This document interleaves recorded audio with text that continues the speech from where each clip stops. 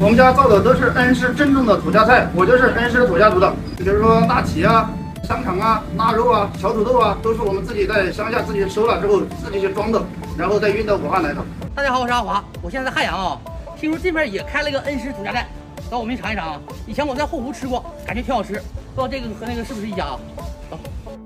美女，你们这个恩施土家寨和后湖的是一家吗？是的，你们是少数民族啊？对，家族土家族。有有那个高山大排骨，或者是蹄子。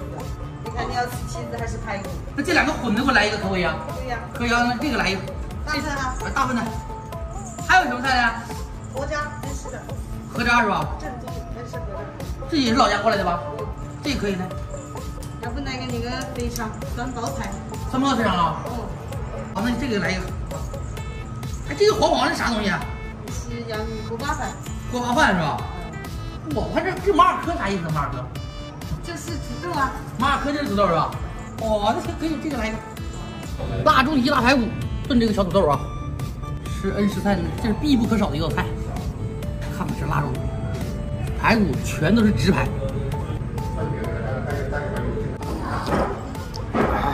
这腊肉这个汤真是鲜，这腊肉汤比鲜排骨的汤好喝多了。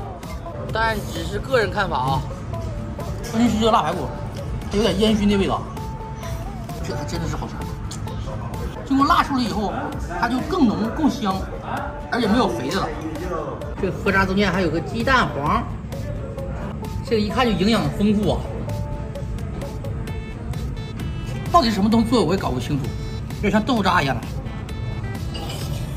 这里边还有这种青菜末，还有肉末。我吃有个奶香味儿，豆香味和奶香味儿揉合啊，回口稍微有点辣味儿，还挺鲜美的。酸包菜炒肥肠，嗯，酸酸的，稍微有点辣味啊，没有什么脏气味啊，酸爽。土家的酸汤鱼片也是现往里下的啊，这个菜比较好，这属于点一个菜上两盘子。番茄，这鱼肉给的好多呀，还，这鱼片看着真薄啊，这真是过瘾哦。嗯，特别酸爽啊！这个酸味是泡菜的酸味和这个青番茄的酸味啊，这种自然的酸味就是好吃啊。这鱼片也比较滑嫩啊，这味道绝了。马尔科洋芋饭，这煎的是金黄酥脆啊，嘎嘎香，吃完了保你还想吃。喜欢吃恩施菜的可以过来试试啊。